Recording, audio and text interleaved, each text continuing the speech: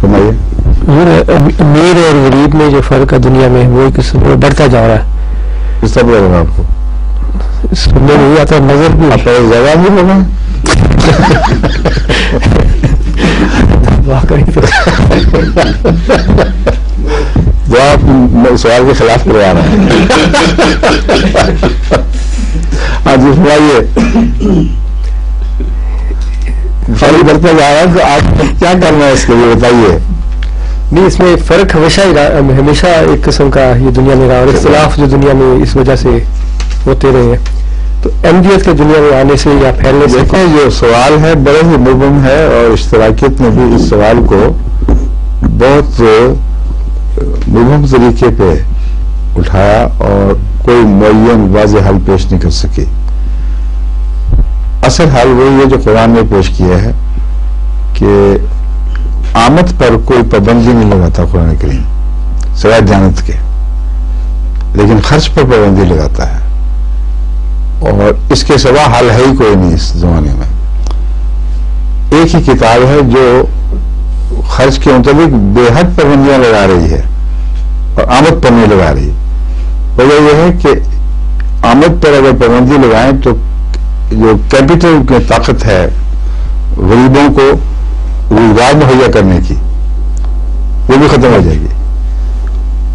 और अगर रुपया का इंतज़ार कर दें तो सारे खा जाते हैं।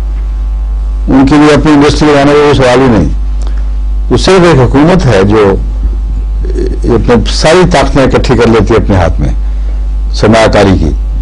और जब हुकूमत के हाथ में इकट्ठी हो तो हुकूमत खुद सरमाकार बन जाती है। हैव एंड हैव नॉट्स का फ़र्क, उसी तरह काम रहता है सिर्फ़ ये कि बद्यान की ऊपर की सतह पर, हुकूमत की सतह पर इतनी बढ़ जाती है कि फिर ये रूसी काउंटर रेवोल्यूशन की तरह जैसे अब हुआ है, वैसे हालात पैदा हो जाते हैं। और कोई हाल नहीं गरीब का। गरीब उसी धक्के खाता है। और वो जो ताकत के सरचश्मे पर बैठ जाए और दौलत भी उन्हीं के पास हो वो फिर खूब कमाइयाँ अपनी भी करते हैं और चूँकि उनको हमदर्दी, हकीकी हमदर्दी निचले लोगों से नहीं, बल्कि उनको दबा के रखना ज़रूरी समझते हैं, वरना उनका अपना तख्ता बढ़ जाए। इसलिए वो अपने डिफेंस पर, अपनी पुलिस ताकत पर बहुत ज़्यादा खर्च करते हैं, जितना उस कौम की इकतसादियात बर्दाश्त नहीं कर सकती।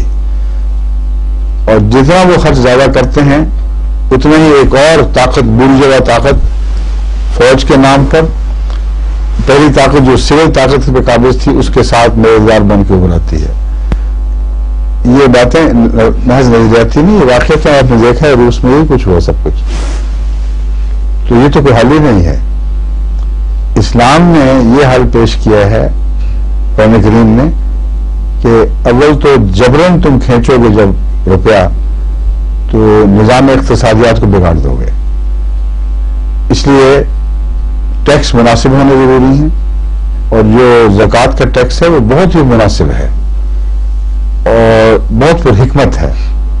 इसकी तफसील में तो नहीं जा सकता इस वक्त, लेकिन मैंने ज़िक्र किया है इस बात का। इस वक्त ये काबिल तवज्जो बात है कि कुरान करीम हर किस्म की अयाशी के दरवाजे बंद कर देता है।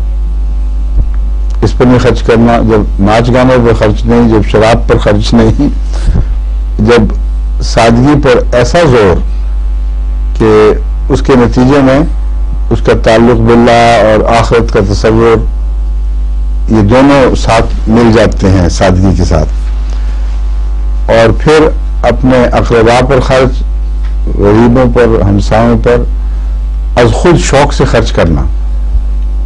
इसकी इतनी ज़्यादा तालीम है कि उसके नतीजे में, माशरे में दो किस्म के तबकात पैदा हो ही नहीं सकते। बल्कि जो तबकात हैं, उनके अंदर आपस में गहरे रबते कायम हो जाते हैं।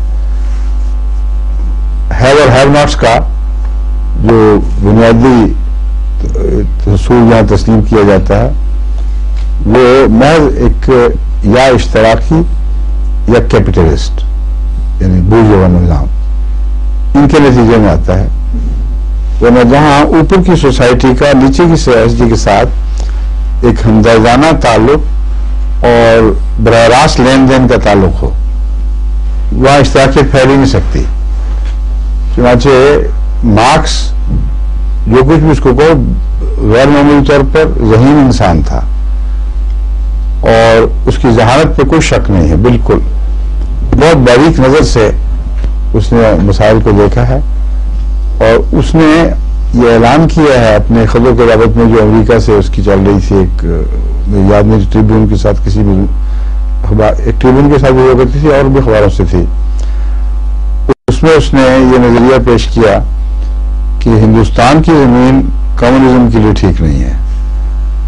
बावजूद इसके कि गुर्बत बहुत है। और इंडस्ट्रियलिस्ट मुल्क में आ सकता है, इस तरह की निज़ाम, इनकलाब।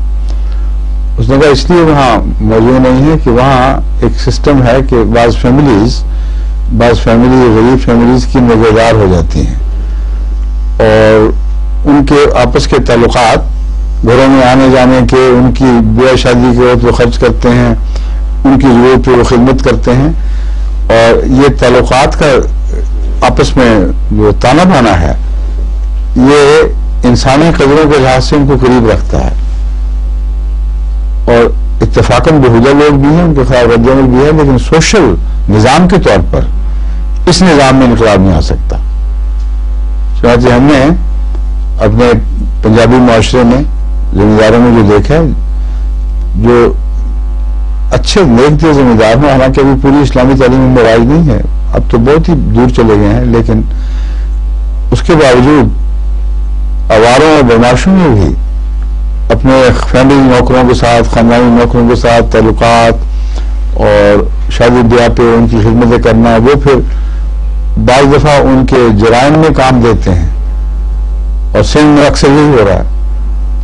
मुल्तान वगैरह की तरफ़ भी ज़्यादातर ये होता है। लेकिन जहाँ शरीफ लोग हैं वहाँ एक दूसरे पर जान छिड़कते एक दूसरे की हमदर्दी करते तो इस्लाम ने जो ज़ोर दिया है, वो खर्च के ऊपर पाबंदी और खर्च को तौई तौर पर गरीबों पर करना, जिसके नतीजे में आपस में मोहब्बत बढ़ती है, बजाय इसके कि एक दूसरे के खिलाफ नफरतें पैदा हों। ये एक ज़िंदा निज़ाम है। इसका इंसानी कदरों से ताल्लुक है। ज़िंदगी पे कोई मैकेनिकल निज़ाम काबिज नहीं हो सकता। जितनी मर्ज़ी कोशिश कर लें वो ज़िंदगी के साथ मेल नहीं खाता।